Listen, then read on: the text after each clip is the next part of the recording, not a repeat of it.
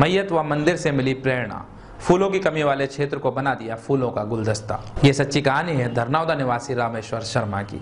देखिए धरनावदा से हमारे सहयोगी नितिन शर्मा की खास रिपोर्ट। यहाँ रामेश्वर शर्मा ने बताया कि एक बार वे किसी के देह संस्कार में पहुँचे तो देखा कि वहाँ पर कोई फूलों की कमी की बात कर रहा था। इतने में दूसरा व्यक्ति बोला, छोड़िए ना साहब, छोटा सा ही तो गाँव है, यहाँ कहाँ से फूल आएँगे? ऐसा ही एक मामला एक बार इन्हें गाँव में चल रही भगवत कथा के दौरान देखने को मिला। जब श्री कृष्ण जन्मोत्सव के उपलक्ष्य में फूल मंगवाए गए, लेकिन किसी कारणवश फूलों की टोकरी बस पर नहीं आ सकी। वहीं रामेश्वर शर्मा कहते हैं कि उनके गाँव पर फूलों की कमी को लेकर बार बार उंगलियाँ उठती हैं, जिससे उनके मन को बहुत चोट पहुँचती थी। उसी दिन उन्होंने यह सोच लिया था कि कुछ तो ऐसा करना होगा कि उनके गाँव पर फूलों की कमी को लेकर कोई उंगली न उठा सके। फिर क्या था? रामेश्वर ने अपनी कमर कस ली और पावर प्लांट में नाइट ड्यूटी करने वाले रामेश्वर ने दिन में गाँव में बंजर पड़ी आधा बीघा ज़मीन में दिन रात एक कर लगाए अलग अलग तरह के फूल।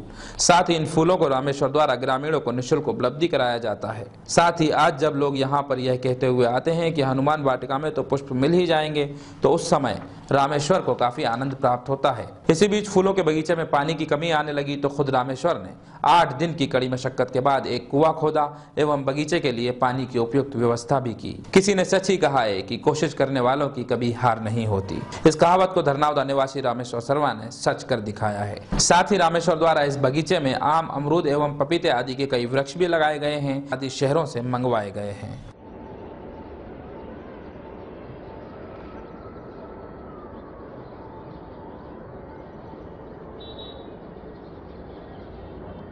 इसमें मुझे तैयार करने में सात साल के करीबन हो गए हैं।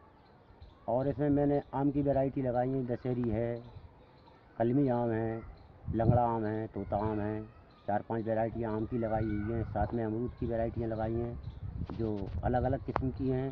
किसी का रंग लाल है, सफ़ेद है, उसका आकार किसी का बड़ा है। इस तरह और साथ के साथ मैंने इसमें पपीता भी लगाए हैं तो चालीस पेड़ पपीता के लगाए हुए हैं, तीस पेड़ जामफल के लगे हुए हैं, दस पेड़ आम के लगे हुए हैं।